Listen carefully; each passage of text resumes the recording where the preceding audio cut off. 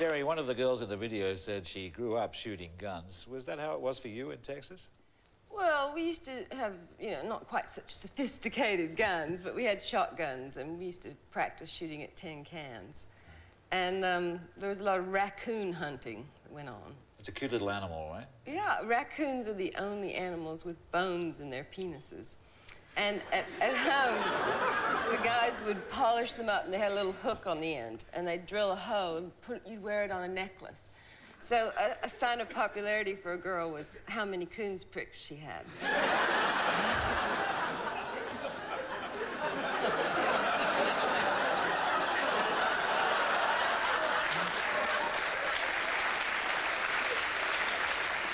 And how many did you have, Jerry? This is really sad. I didn't have any, so I left home so early. But my sister Cindy had three. All right. A girl I knew once said that I had a raccoon's penis. I think she meant something else there. Okay. What?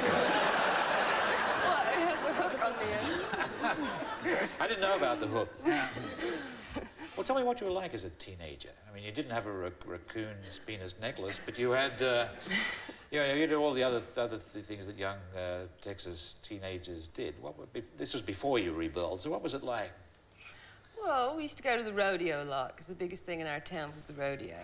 And um, we used to ride our horses to the rodeo. And, uh, you know, we were bull rider groupies. So I was very prepared for being a rock and roll groupie. We used to hang around the stalls and watch the bull riders mount up and things. It was all very exciting.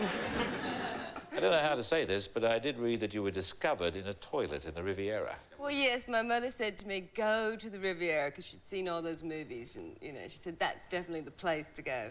So she'd made me all these wonderful outfits, sort of copies of Fredericks of Hollywood and, um, you know, all these sort of snakeskin things with my legs all showing.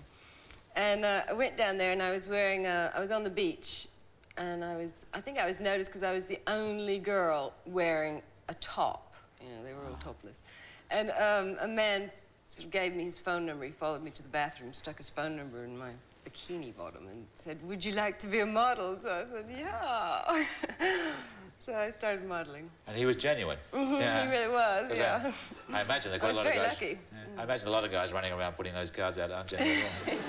so, so you so you arrive in Paris, and uh, and then what happened? I started modeling with uh, Helmut Newton, you know. I, w- I was uh, sharing a flat with Grace Jones.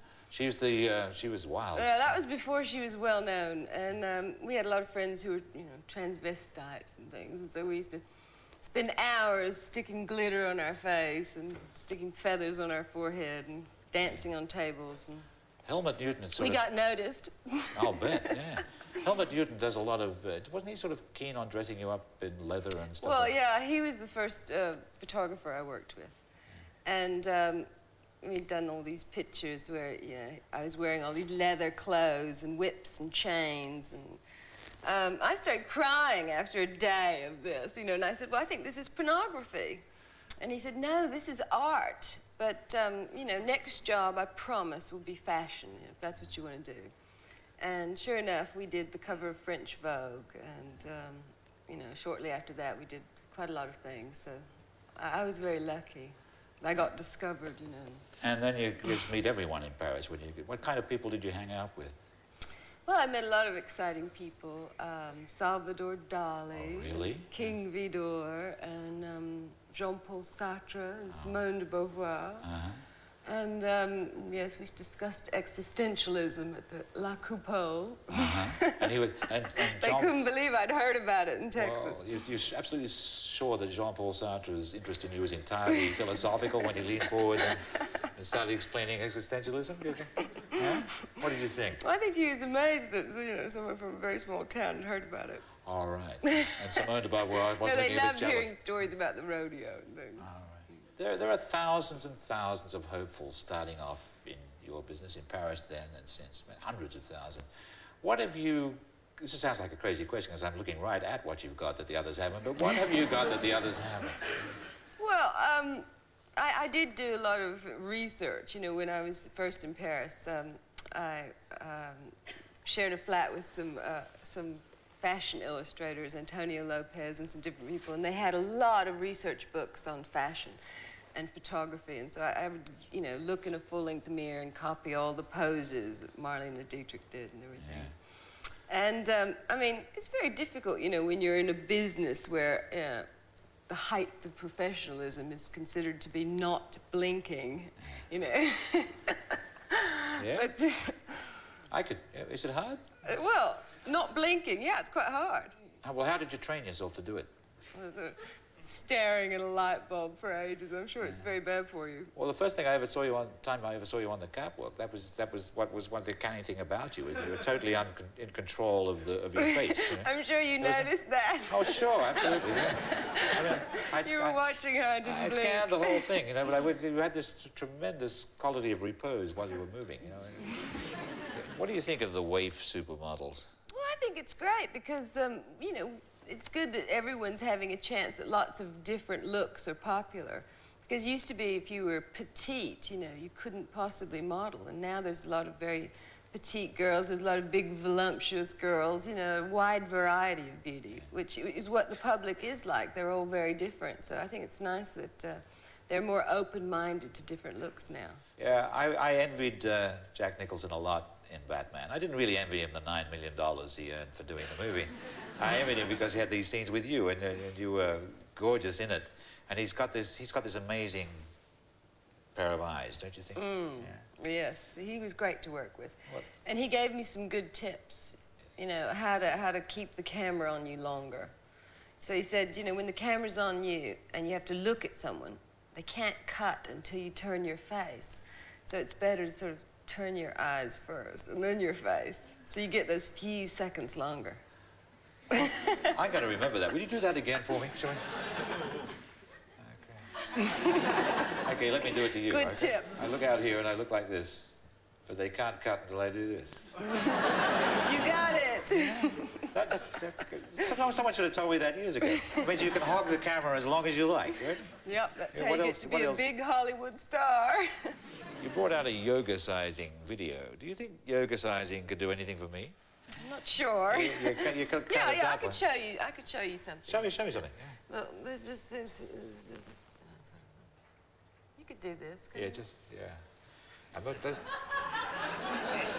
Wait a sec. Yeah. That's as far as it goes. Yeah. now, wait a sec. Yeah. That's as far. As...